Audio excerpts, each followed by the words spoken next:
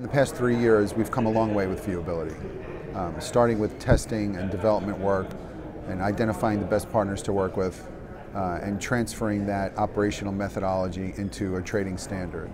So I think where we've come is, is an amazing testament to the industry pulling together and helping our clients achieve what they want, which is having ads seen by real human beings.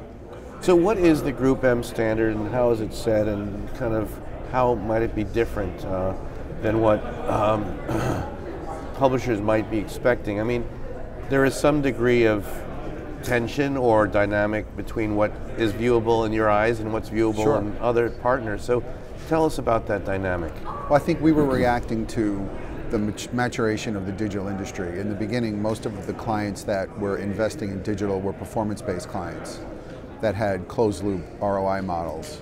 Um, and as we started to expand digital into marketers looking to develop reach extension for audience lost in the offline world, specifically television, uh, we realized that we had to develop metrics that were more apples to apples with what clients were expecting from their linear investments.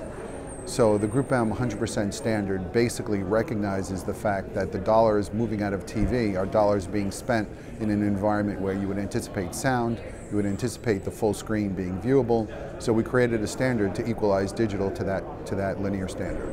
Cool.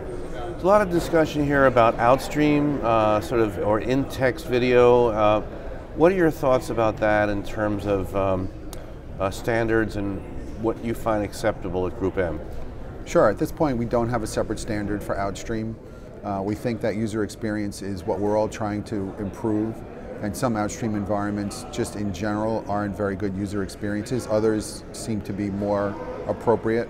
Um, we're always looking at benchmark data. We're always um, working closely with with our research partners and with the IAB to make sure we understand what, what consumers want and, and we, we, we only investing in the platforms that we think can deliver the quality audience our clients need while not interrupting a user experience. Cool, and finally there's a lot of discussion about data providers, all kinds of sources. We speak to a number of people here at the conference in general. Uh, in terms of the data that you guys have for your decisioning, where does that stand and what do you look to your partners for in terms of uh, perhaps other data sets or other uh, usable kinds of data? Sure. I think our, our belief is that the data is relatively commoditized. At this point, every one of us has a profile that's measured by every third-party data company in the world. So the data that we use isn't necessarily different than the data anyone else uses, except for the onboarding of our clients' first-party data. The real valuable data differentiator is what our clients maintain in their own systems, their own CRM systems. Uh, so the difference in how we use data is a differentiator to how we can target and be more effective for our clients. And finally, Joe, I just want to ask in terms of what you're hearing here and in terms of some of the big topics uh, of concern, uh, from your point of view, that you've been hearing here that you would like to have solved perhaps or addressed or where you would hope the industry moves? Uh, I think we all uh, are very uh, encouraged by the progress of the Trustworthy Accountability Group. Um, we spent a lot of time thinking about uh, delivering a trustworthy supply chain for our clients.